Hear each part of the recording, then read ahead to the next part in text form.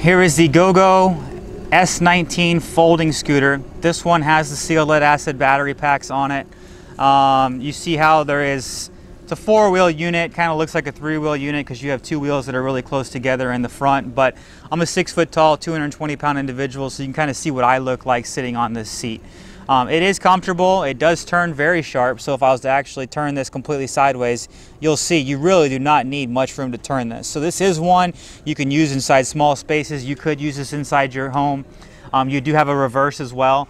Um, so it goes forward and reverse. It has built-in electromagnetic brakes, so when you go and when you let off the throttle, the unit will stop automatically within a foot, even if you're at max speed.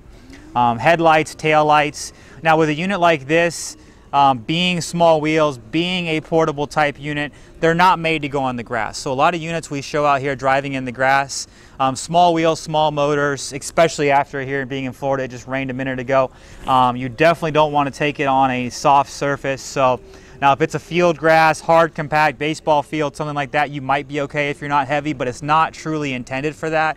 Really what this is used for is on a hard top surface. So once again, GoGo folding scooter, four miles an hour top end speed, 250 pound weight capacity, 37 inches, 37 in total inches of length, 19 inches wide unless you have armrests it will make it wider. Um, it's a really nice unit, folds up, 51 pounds without the battery pack in it. Uh, give us a call today, we'd be glad to help you. Hi, I'm Marc.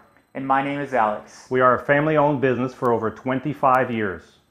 We have many products available not just what you see in this video. If you would like to learn more, you can call the number below at 800 677 6293 or you can visit us directly at www.marcsmobility.com.